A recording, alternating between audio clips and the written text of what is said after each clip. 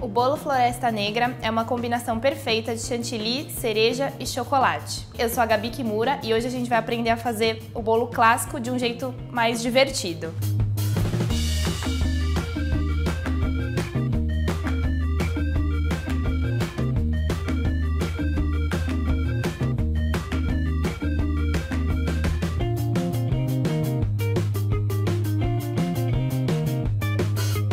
Bom, para fazer o bolo Floresta Negra, a gente precisa de uma massa de chocolate. Eu fiz uma de pão de ló, mas você pode usar a sua preferida, se você quiser trocar, fazer outras que você acha melhor. Eu já fiz e deixei aqui, dividida em duas formas, para não ter aquele trabalho de cortar no meio. Enquanto a massa esfria, eu vou fazendo a calda, que eu vou fazer com um toque de rum para deixar o nosso bolo mais um sabor mais rico. Então a gente vai colocar o açúcar com a água. E aí é só levar a panela para o fogo. Quando começar a ferver, contar um minuto e aí desliga. Contamos um minuto depois que ela começa a levantar as bolinhas, que é a fervura, e aí você adiciona o rum, dá uma misturada, porque o próprio calor que tiver ali já vai dar uma evaporada no álcool, ele não vai ficar tão forte. Depois que você fez a calda, deixa ela esfriando um pouco, ao mesmo tempo que a massa vai esfriando e tudo mais, e aí você parte para fazer o chantilly. Só misturar o creme de leite fresco com o açúcar. Só cuidado para não deixar bater demais porque vira manteiga. E manteiga é bom, mas não nesse caso. creme de leite fresco. E o açúcar. Vamos deixar ele batendo em velocidade médio-alta até ele chegar no ponto.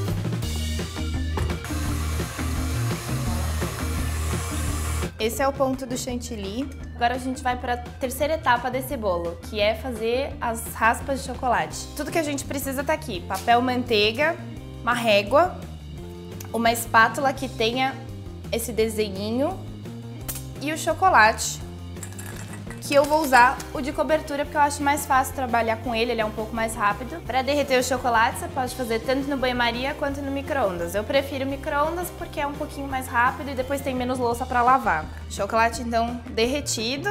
Pega aqui a sua folha de papel manteiga e despeja o chocolate bem no centro assim. E aí eu venho com essa espátula e vou puxando para espalhar ela bem sobre a folha e deixa bem a bordinha, porque na hora que você colocar a outra por cima, ela vai dar uma pressionada. Com a segunda folha, a gente vai colocar por cima.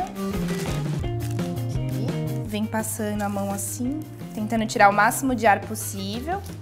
Isso feito, a gente vai rolar, fazer um rolinho e deixar na geladeira por uns 10 minutos até o chocolate endurecer. Pega as duas folhas e vai enrolando. Ele fica um rolinho igual quando a gente pega o papel e aí deixa na geladeira rapidinho para ele endurecer o chocolate. Enquanto o chocolate ele vai endurecendo, a gente já pode ir preparando o bolo. Então, você vai umedecendo um pouquinho com a calda para deixar ele mais saboroso. Pode usar um pincel ou um copo, enfim, como for mais fácil para você.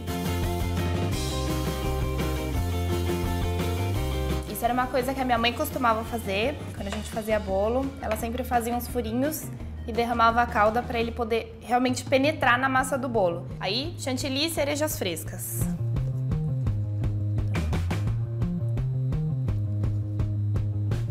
E aí vai com uma espátula ou uma colher empurrando o chantilly assim. E aí cerejas.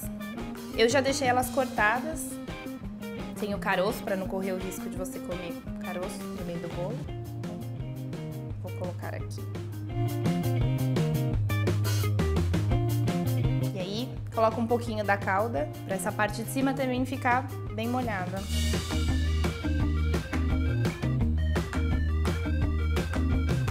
Aí, coloca o chantilly nas laterais do bolo, que é pra gente grudar as raspas. E aí termina em cima também com um pouquinho de chantilly e já as cerejas prontas. Chantilly, cerejas, agora as raspas. Você pega onde estão as duas folhas juntas e aí vai abrir de uma vez só e você vai ouvindo os cracks, que é quebrando o chocolate. Então você vai abrindo aqui.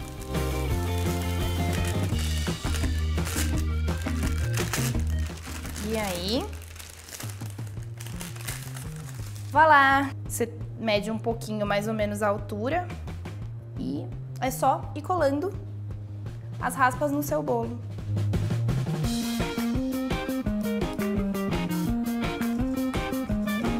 Bom, e aí a gente tem um bolo Floresta Negra, que é um clássico, praticamente todo mundo adora, principalmente com cereja fresca, ele fica bem mais gostoso. E as raspas são um toque para você surpreender com a pessoa com um tradicional revisitado. Eu espero que vocês tenham gostado.